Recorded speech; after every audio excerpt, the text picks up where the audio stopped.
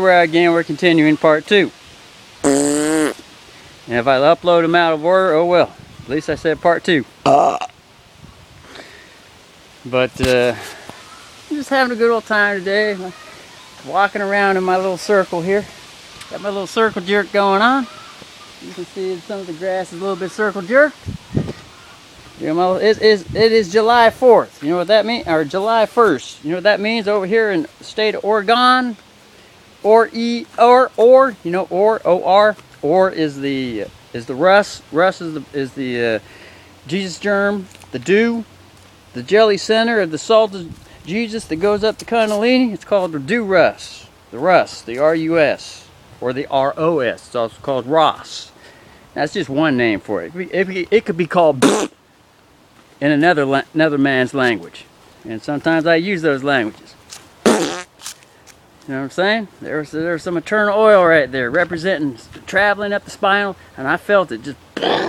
that one was a little bit blo- blocked in the in the chakra because I've been you know walking around here in the yard and it got slow myself down. When I start to get adrenaline, the conservative and all that, you know, consciousness, you know, being safe on the land and the water and all that, playing and splashing and all the other ding, ding, ding, ding, ding.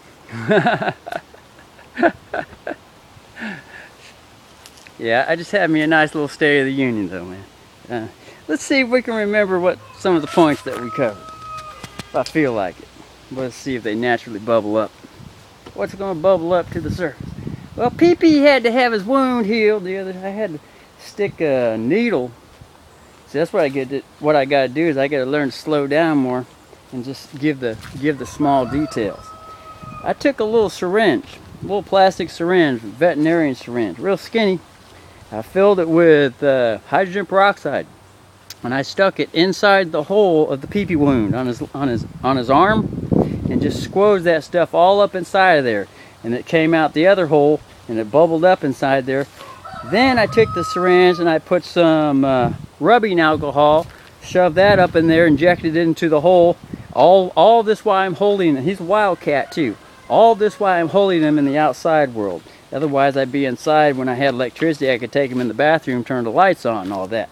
But uh, I decided to go off the grid again, and so we ain't got no electricity and water as it stands right now. And no city official can condemn this property.